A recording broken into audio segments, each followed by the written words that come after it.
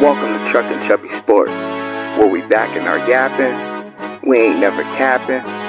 That's a factor. Eh? So what's happening? Not a coach, not a pro, no X's, no O's, just the fans' point of view and what we know. Let's go.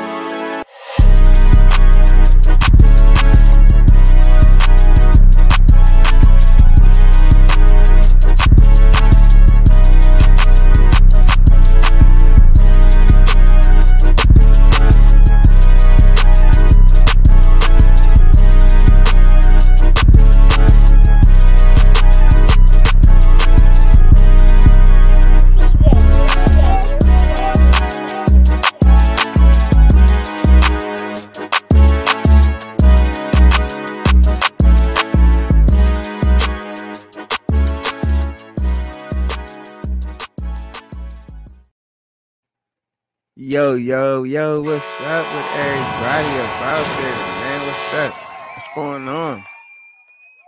As y'all can see, pulled up on my screen, I have none other than Russell Wilson, Kenny Pickett, and Justin Fields, because we already know what the dilemma is in Pittsburgh, and I'm going to keep talking about it. And then I'm gonna make another video if we grab him, and I'm gonna be super excited. And if we grab Justin Fields, that is.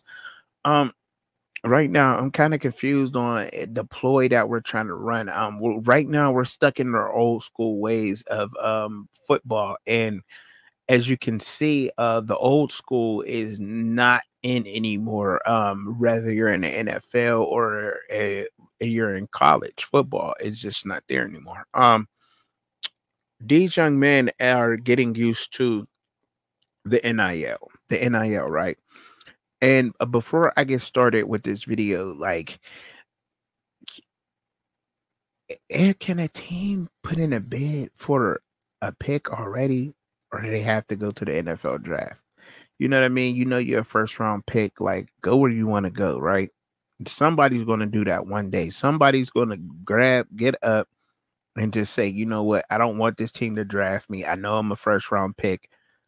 I'm going to go walk on somewhere else and sign a rookie contract or a one year, $15 million deal with said team, show out, and then perform there, right? Or whatever. I think that may happen. I don't know. I, I, I am optimistic out here. I'm optimistic. All right, but um, no, we know that there's rumors that Russell Wilson may be meeting with us, the Pittsburgh Steelers, and to be honest with you, I don't like this move. I just don't like this move, man. Um, there's, I mean, I don't want to get it twisted because Russell Wilson's completion percentage and touchdown uh, to interception ratio was one of the best in it. Like last year, I think I, I, can't remember was it around week eight, week seven last year, something like that.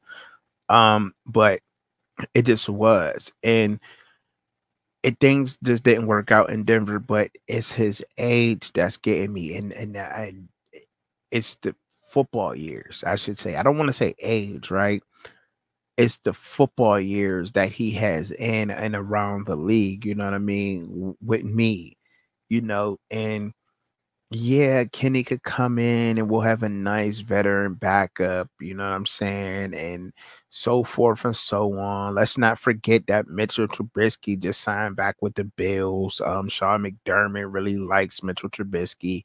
Um, they see something in him, some similarities to Josh Allen, I guess. Um, and look, I don't think that the office that we ran was right for Mitchell, Mitchell Trubisky. He did the best he could to play in that, and um, because I didn't think Mitchell Trubisky was bad at all. I think he should have been our bridge quarterback and starter up until we drafted a quarterback or um we made a strong move for a guy like Justin Fields. Now, um, Kenny Pickett has. I mean, look, you've seen flashes of Kenny Pickett, but I believe we've seen the ceiling, y'all. He's he, we seen it. We just we just have now. What can that change in a different offense with some different plays? Maybe we can get better production out of him, but, but we know Arthur Smith, you know, goes off of the play action, and he's going to run the ball. And our run game has gotten a lot better, but do you think that I mean with the NFL going back to the old trying to get back to the old school ground and pound game is that what you think we're going to do here? Because I mean Harbaugh coming back we've seen how the Chiefs just you know they they definitely had that formula. Um, Patrick Mahomes did not throw it all over the lot. They ran the ball uh, effectively uh, with Pacheco and could that be happening in Pittsburgh? Now Kenny now yes I do think that Kenny Pickett can survive in a system like that. But still, however, your quarterback still has to be able to make plays. If they're not there, if they don't bite on the play action, your quarterback has to have the speed and the strength. Does Kenny have that? I mean, like he got the speed, but the strength is a questionable thing. And he's and is he a little fragile? He had concussions, took some hits, um, and he had an ankle injury last year. So for the two seasons that he's been there, he's already been hurt too. I think we go after a, a, a, young veteran. I think we go after the young veteran and and Justin Fields. Um, even in that case, they say bring an older veteran in. No, I bring bring the younger veteran. The older veteran, eh, even if he do take my position, he's only going to take it for two years max, or year max. You know what I'm saying? There's really no pressure there. Um, really apply the pressure, make him play, bring out the best in him go and get Justin Fields. They're both they're gonna compete against each other. That's gonna make both of them better. You're not only gonna get good play up out of Kenny. If Kenny gotta come in, you know what I'm saying? Now we got two young, hungry quarterbacks. Do I think his play goes up if he Justin Fields? Absolutely. If Justin Fields is there, his play go up. Absolutely, without a doubt. I mean, anybody eh, you bring in that's just me because now he like, oh yeah, yo, yeah, y'all want to bring him in and be the starter here me. Hey, maybe that's what he need. Maybe that's what he needs. You know what I'm saying?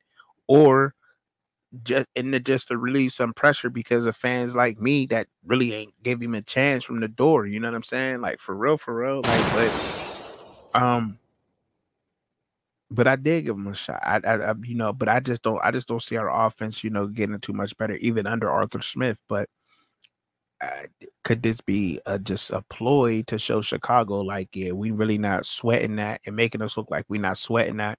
But I, but the whole NFL, these analysts, everybody, any content creator, everybody who's saying that Justin Fields going to Atlanta, I don't believe Justin Fields really want to go to Atlanta. I don't believe that. I really, honestly, in my heart, I don't think he really wants to go to Atlanta.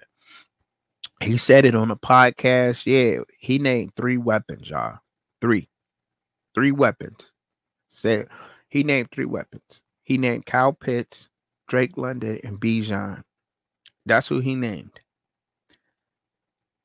He ne- he didn't name nobody on the Steelers. He said, "Yeah, I like the Steelers," but he did say Steelers is the, is a tough place to play. He did say that. He liked the atmosphere in Pittsburgh. Imagine him getting the atmosphere going in Pittsburgh. What?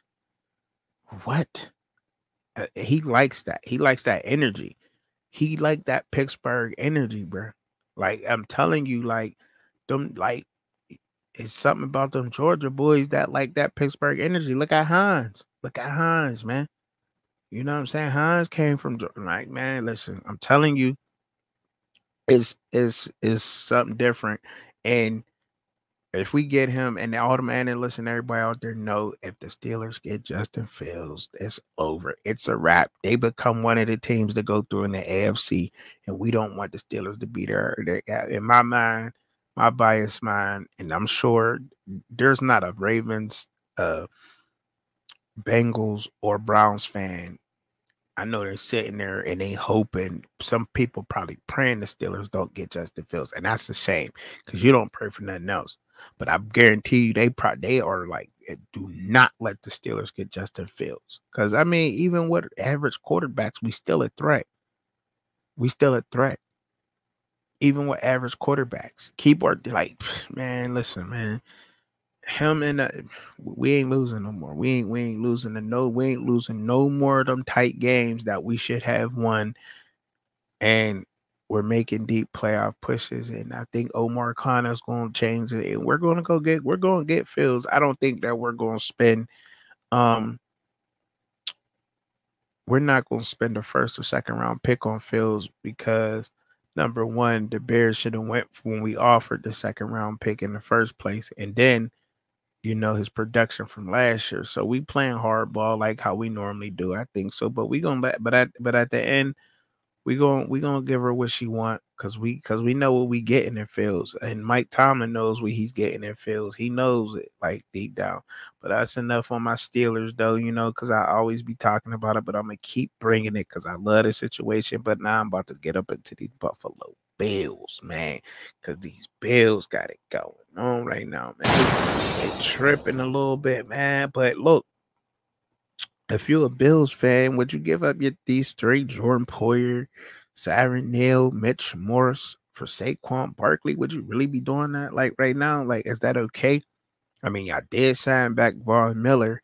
I mean, you need his veteran leadership on that defense. I mean, without a doubt. I mean, that that's that's that's not for a fetched to do that, you know. All right. Um, because you gotta bring back Von Miller, right? You know, because when he's in when he's in there, that defense just becomes a threat. You got to account for Von Miller. You got to. The defense has to pay attention to him, right? You have to. The offense, I'm Susan. The offense has to pay attention to Von Miller, which takes a little bit of pressure off everybody else. Um, and remember, I was saying that running back or wide receiver. I said running back first, then I went into wide receiver, and I should have, you know, made it more clear, but I just like I just jumped all around. But really, either or is going to work for Buffalo, right? But Saquon is that perfect guy, can catch out of the back, backfield, can line up in the slot if need be. you know, um, that Christian McCaffrey, Cordarrelle Patterson, Deebo Samuels type, but he's a back. Saquon is that guy. Saquon is that guy. I would love to see Saquon in Buffalo. But could you imagine being a linebacker on an opposing defense and you're sitting there looking at they're sitting in this pistol formation or shotgun formation and you got you're looking at Josh Allen and Saquon Barkley side by side of each other, you like, oh my goodness. And you got Stefon Diggs on the outside, Gabe Davis. I mean, Shakir, he he he he was alright in the playoffs, but like I said, the inconsistencies. Shakir needs to be consistent for the Bills. They need him to be consistent.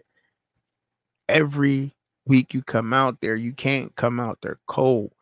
You know what I mean? Gabe Davis and, and Stefon, they be cold some games because they don't get targeted because they be doubled and triple covered like low key. They be triple covering Stefon Diggs low key. So you know Gabe gonna get off. They gotta double him so you know for a fact if Shakir's doing it right, he's going to go off, but he has not been that consistent. That's what I'm saying. So this would be perfect for the Bills, and this is not far fetched for the Bills to do something like this. They just let go for their wide receiver Harty because I believe the inconsistencies, right? Right? Y'all agree? Do you? I mean, I'm just saying. Then you got deny uh they getting that salary cap space open for somebody because this is not far fetched for the Bills. The Bills pay players immediately. If you produce in the Bills, then they go after names in the free agency. I want him, and man, that's crazy. Man, Saquon, he he would. That's that is y'all missing piece to me. Buffalo Bills, that is y'all missing piece. If Saquon Barkley is playing for the Bills when they play the Chiefs, they beat the Chiefs without a doubt. They beat the Chiefs without a doubt. No, no doubt in my mind if Saquon Barkley is a Buffalo Bill, the Buffalo Bills is in the Super Bowl last year. Yes, I'm going out on a limb and I'm saying that because he just that is he's make he's make that offense that much more dangerous. That much more dangerous. Like, I mean, come on, man. I mean, like, really? And then they're gonna so they're gonna go young receive uh young receiver. And then if I get a back like Saquon, y'all don't necessarily need y'all, y'all still need a good another good route runner. I don't really care about speed for Buffalo. Buffalo does not need a speed guy. Buffalo needs another receiver that is smart and that can run routes very well. That's all they need is a good route runner. You know what I mean? Zay Weaver had elite route running in college. Yes in the pros, it will translate over to good. Now he has the chance to be elite if they lock down Stefon Diggs in Buffalo. But even Stefon Diggs is a little bit frustrated because why? Why is Stefon Diggs frustrated? He knows he's getting doubled and triple covered. He knows it. You know what I mean? They're on, they're putting a zone like their their zone defense is literally barricading him in almost like it's in a basket. You know what I mean?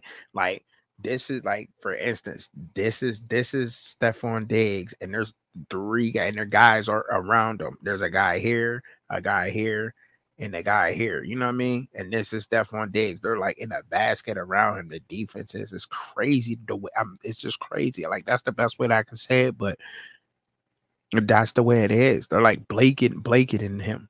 You know, and he knows that.